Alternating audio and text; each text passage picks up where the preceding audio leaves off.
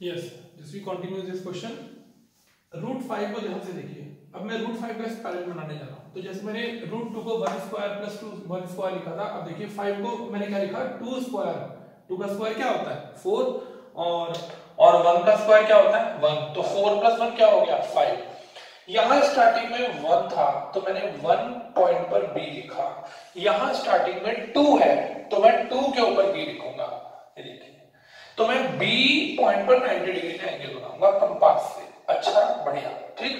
अब आगे लिखा हुआ है वन स्क्वायर तो वन स्क्वायर का मतलब हुआ कि अब मैं अपने कंपास में वन तक का डिस्टेंस लूँगा इस क्वेश्चन को अगर आप ध्यान से देखें तो ये भी वन था, ये भी वन था।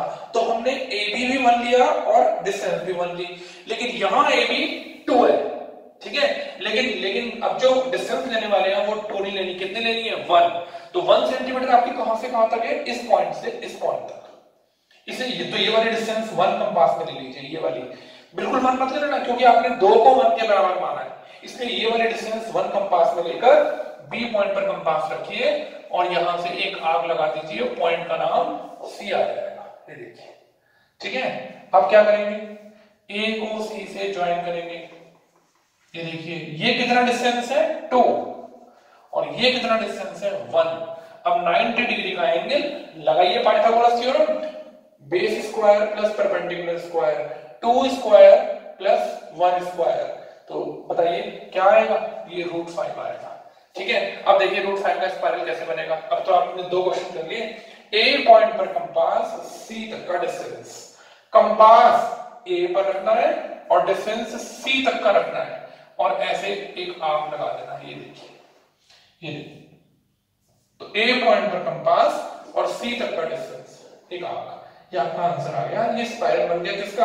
रूट फाइव का। ऐसे आपके जितने मर्ज़ी आप स्पाइरल बना लीजिए, और भी हम थोड़े से स्पाइरल आपको सिखाएँगे, लेकिन पहले आप स्पाइरल बनाने की अपने कंपास से प्रैक्टिस कर लीजिए। ठीक है? तो प्रैक्टिस करने में पक्का। रूट टू का बनाना है रूट थ्री का बनाना है रूट फाइव का बनाना है। फिर मैं भी आपको सिखाऊँगा। एक मेरे दिमाग में क्वेश्चन आ रहा है बोर्ड ने दिया। तो मैं उस क्वेश्चन को आपके सामने कर रहा हूँ। रूट टू रूट थ्री देखते ही मेरे दिमाग में क्वेश्चन आ गया कि फाइंड यहाँ लिख रहा हूँ मैं question a rational number oblique irrational number between two and three ये देखिए। Sorry between under root two and under root three कह रहा है रूट टू और रूट थ्री के बीच में एक रेशनल नंबर भी निकालिए और और इरेशनल तो कैसे करेंगे? यहाँ कर देता हूँ। बताइए रूट टू का आंसर क्या होता है? One point four one four और रूट थ्री का आंसर क्या होता है? One point seven three two देखिए तो बताइए, इनके बीच में रेशनल नंबर कैसे लिखेंगे? 1.4 और 1.7 के बीच में आंसर आएगा 1.5 बस ये हो गया रेशनल नंबर आगे कोई नंबर लिखने की ज़रूरत नहीं ऐसा नंबर जिसे हम फ्रैक्शन में डिवाइड कर सकते हैं। देख लीजिए 1.5, 1.4 और 1.7 के बीच में आता है। ठीक है? अब अब ये तो मैंने कौन सा लिखा? रेशनल अब मैं इन्हीं दोनों के बीच में कौन सा नंबर लिख रहा हूँ? इरेशनल नंबर ये देखिए।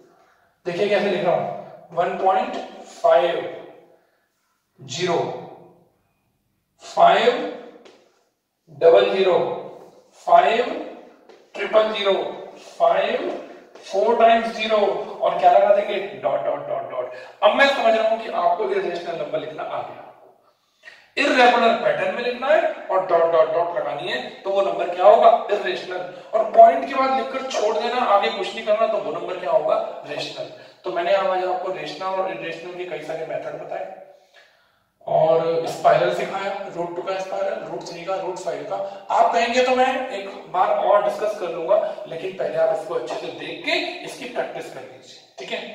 और रेशनल रिलेशन के बारे में आज हमारा बहुत अच्छा डिस्कशन हुआ।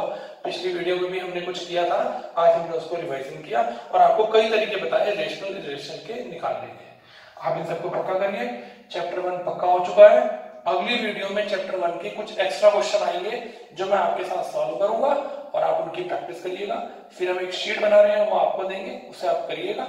जब स्कूल खुलेगा तो वो आपकी कॉपी पे कंप्लीट होनी चाहिए। ठीक है?